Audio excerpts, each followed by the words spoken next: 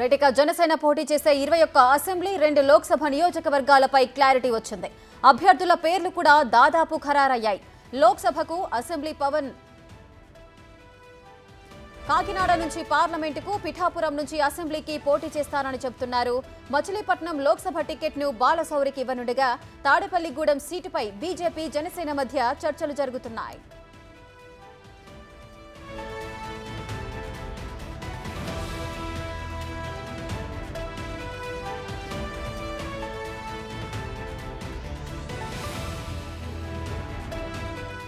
Right ఇక జనసేన పోటీ చేసే ఇరవై ఒక్క అసెంబ్లీ రెండు లోక్సభ నియోజకవర్గాలపై క్లారిటీ వచ్చేసింది.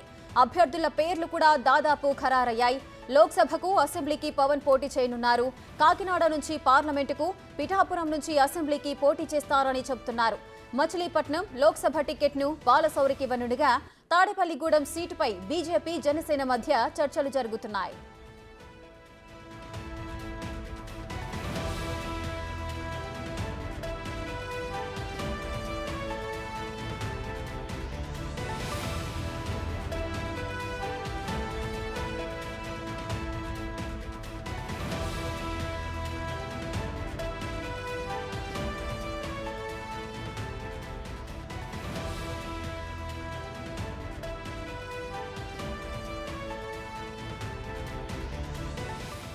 జనసేన పోటీ చేసే ఇరవై ఒక్క అసెంబ్లీ రెండు లోక్సభ నియోజకవర్గాలపై క్లారిటీ వచ్చేసింది. అభ్యర్థుల పేర్లు కూడా దాదాపు ఖరారయ్యాయి. లోక్సభకు అసెంబ్లీకి పవన్ పోటీ చేయనున్నారు. కాకినాడ నుంచి పార్లమెంటుకు పిఠాపురం నుంచి అసెంబ్లీకి పోటీ చేస్తారని చెబుతున్నారు. మచిలీపట్నం లోక్సభ టికెట్ను మాత్రం బాలసౌరికి ఇవ్వనుండగా తాడపల్లిగూడెం సీటుపై బీజేపీ జనసేన మధ్య చర్చలు జరుగుతున్నాయి.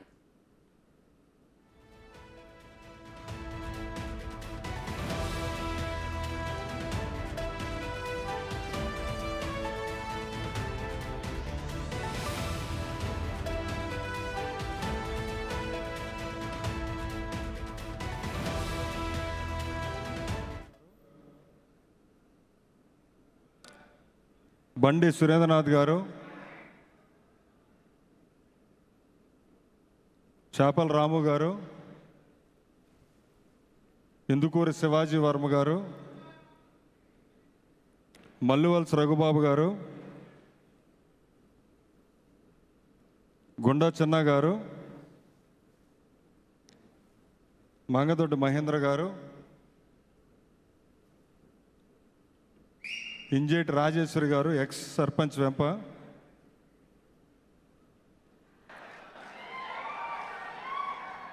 కల్లెండి శ్రీనివాసరాజు గారు వర్ధనపు సుబ్బయ్య గారు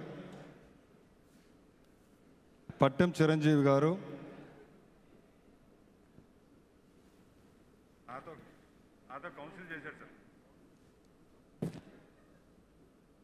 దండు విజయరామరాజు గారు. కడలి శ్రీనివాస్ గారు బి తరుణ్ మధురాజు. రెటిక జనసేన పోటీ చేయబోయే స్థానాలు నియోజకవర్గాలు అసెంబ్లీ అదేవిధంగా ఎంపీ స్థానాలు. వీటన్నిటికి సంబంధించిన లిస్ట్ అయితే ఒకటి బయటకు వచ్చింది. దీనికి సంబంధించిన పూర్తి డీటెయిల్స్ మా ప్రతినిధి శివ లైవ్లో అందిస్తారు. శివ చెప్పండి ఈ లిస్టే ఫైనల్ అనుకోవచ్చా? దీంట్లో కూడా మార్పులు చేర్పులు ఉండే అవకాశాలు ఉన్నాయా అంటే జనసేనకు సంబంధించి స్థానాలకి పోటీ చేయబోతున్నది. వాస్తవానికి సంబంధించి ఇరవై నాలుగు అసెంబ్లీ మూడు పార్లమెంట్ అనుకున్నారు. బీజేపీ పొత్తు రావడంతో కూడా స్థానాలకు సంబంధించి కుదించిన పరిస్థితి కనిపించింది. వాస్తవానికి ఇప్పటికే జనసేనకు సంబంధించి ఆరు అసెంబ్లీ స్థానాలకు అభ్యర్థులను ప్రకటించింది.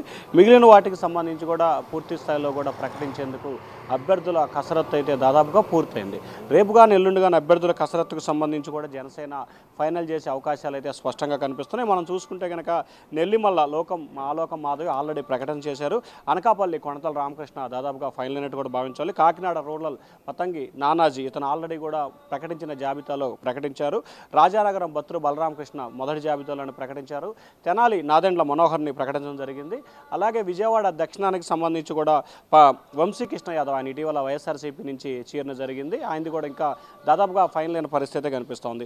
పెందుర్తికి సంబంధించి కూడా పంచర్ల రమేష్ ఉన్నారు. యలమంచిలికి సుందరపు విజయంలో ఉన్నారు అలాగే రాజోలకి బొంతు రాజేశ్వరరావు ఇతన్ని కూడా మొదటి జాబితా జాబితాలో ప్రకటించారు. అలాగే అమలాపురం రాజాబాల నిడదవోలు కందుల దుర్గేష్ ఇది నిన్న కూడా కొత్తగా ఆరో అభ్యర్థిని ప్రకటించిన పరిస్థితి కనిపిస్తూ ఉంది. తాడేపల్లిగూడెం బొలిశెట్టి శ్రీనివాస్ ప్రస్తుతానికి సంబంధించి తాడేపల్లి నియోజకవర్గానికి సంబంధించి బీజేపీ తమకు కావాలి. గతంలో పొత్తులో ఉన్న భాగంలో కూడా తాము రెండుసార్లు గెలుపొందడం జరిగింది. ఈ నేపథ్యంలో తమకు స్థానాన్ని తిరిగి ఇవ్వాలని చెప్పి కూడా బీజేపీ కోరుతా ఉంది. తాడేపల్లి నియోజకవర్గానికి సంబంధించి రెండు పార్టీల మధ్య అయితే చర్చలు కొనసాగుతున్న ఇరువురు తమకే కావాలని చెప్పి కోరుతా ఉన్నారు. ఒకవేళ తాడేపల్లి నియోజకవర్గం కనుక జనసేన బీజేపీకి ఇస్తే కనుక విజయవాడ వెస్ట్ని జనసేన తీసుకున్న విజయవాడకు సంబంధించి కూడా మరొక నియోజకవర్గాన్ని తీసుకునే అవకాశం అయితే కనిపిస్తూ ఉంది. అలాగే అవనగడ్డకు సంబంధించి బండేటి రామకృష్ణ విజయవాడ వెస్ట్ పోతిన మహేష్ తిరుపతి అరణ్య శ్రీనివాసులు అలాగే రాజంపేట అధికారి దినేష్ అనంతపురం అర్బన్కి సంబంధించి ప్రెండ్యాల శీలత భీమవరం సంబంధించి పులవర్తి రామాంజనేయులు పిఠాపురంలో పవన్ కళ్యాణ్ ఆయన ఎమ్మెల్యేగా ఎంపీగా రెండు చోట్ల కూడా ఆయన పోటీ చేసే పరిస్థితి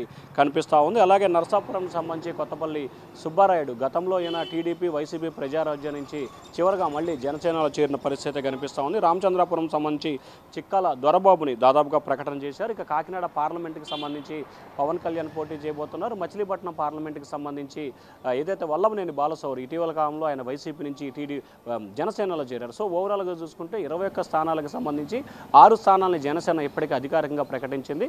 మిగిలిన స్థానాలకు సంబంధించి అభ్యర్థులను అయితే ఖరారు చేసింది. అయితే దాదాపుగా ఈ జాబితాకి సంబంధించి కూడా పూర్తి స్థాయిలో ఫైనల్ అయిందని భావించాలి. ఒక తాడేపల్లి గూడానికి సంబంధించి అలాగే మిగిలిన విజయవాడ వెస్ట్ అలాగే అనంతపురం అర్బన్కి సంబంధించి మాత్రమే కొంత మార్పులు చేర్పులు జరిగే అవకాశం కనిపిస్తూ ఉంది. ఏదైతే ప్రస్తుతం మనం ఇరవై ఒక్క శాసనసభ స్థానాలకు సంబంధించి ఆరు స్థానాలు గతంలో ప్రకటించారు. మిగిలిన పదకొండు స్థానాలకు సంబంధించి కూడా చంద్రబాబు ఇప్పటికే టీడీపీ అభ్యర్థులతో కూడా మాట్లాడడం జరిగింది ఆ నియోజకవర్గ ఇన్ఛార్జీలో. జనసేనకి ఈ నియోజకవర్గాలు కేటాయిస్తున్నాం అని చెప్పి వారికి విజయానికి సహకరించాలని చెప్పి కూడా చంద్రబాబు నాయకులు కోరిన పరిస్థితి కనిపిస్తూ ఉంది రేఖ. శివ అయితే తాడపల్లిగూడెం సీటు పైనే కూడా బీజేపీ జనసేన ఇద్దరు కూడా టార్గెట్ చేశారు. వాళ్ళిద్దరి మధ్య కూడా చర్చలు జరుగుతున్నట్లు తెలుస్తోంది. అక్కడ గెలుపు అవకాశాలు అసలు ఏ విధంగా ఉన్నాయి? ఒకవేళ టికెట్ ఇస్తే బీజేపీకి జనసేనకి ఎవరికి వచ్చే అవకాశాలు మెండుగా ఉన్నాయి అనుకోవచ్చు? అంటే ప్రధానంగా చూసుకుంటే రేఖ తాడేపల్లిగూడానికి సంబంధించి కూడా గతంలో బీజేపీ రెండుసార్లు గెలుపొందడం జరిగింది టీడీపీ నాలుగైదు సార్లు గెలుపొందడం జరిగింది వైఎస్ఆర్సీపీ కూడా మొన్న గెలుపొందడం జరిగింది రెండు వేల పంతొమ్మిదిలో. ఆ తర్వాత వైఎస్ఆర్సీపీ పార్టీ పెట్టిన తర్వాత తొమ్మిది పద్నాలుగు పంతొమ్మిది ఇరవై నాలుగు. ఈ నాలుగు చోట్లకు సంబంధించి పంతొమ్మిదిలో వైసీపీ గెలిచింది. అంతకుముందు రెండుసార్లు కూడా భారతీయ జనతా పార్టీ అక్కడ గెలిచింది. మాజీ మంత్రి స్వర్గీయ పైరుకొండ మాణికలరావు కూడా రెండు వేల పద్నాలుగులో గెలుపొంది బీజేపీ కోటాలో మంత్రి అయ్యారు. సో అది మొదటి నుంచి కూడా బీజేపీకి అలాగే కాపు సామాజిక వర్గానికి పట్టున్న నియోజకవర్గం. సో ఈ నేపథ్యంలోనే ఈ నియోజకవర్గంలో పట్టుంటో నేపథ్యంలో ఇరువురు కూడా తమకే కావాలని చెప్పి కోరుతా ఉన్నారు. వాస్తవానికి జనసేనకు సంబంధించి బొలిశెట్టి శ్రీనివాస్కి దాదాపుగా అధినేత ఖరారు చేసిన పరిస్థితి కనిపించింది. కానీ నిన్న దాదాపుగా ఎనిమిది గంటల పాటు జరిగిన చర్చల్లో ప్రధానంగా ఇటువంటి నియోజకవర్గాలకు సంబంధించి మాత్రమే చర్చ జరుగుతూ ఉంది. అయితే అక్కడ జనసేన పోటీ చేసినా బీజేపీ పోటీ చేసినా కానీ ఖచ్చితంగా గెలుపొందే అవకాశాలు అయితే కనిపిస్తున్నాయి. అందుకే ఇరువురు నేతలు కూడా ఆ నియోజకవర్గంపై కన్నేసిన పరిస్థితి కనిపిస్తూ ఉంది Rekha. Right Thank you, Shiva. Thanks for the live details.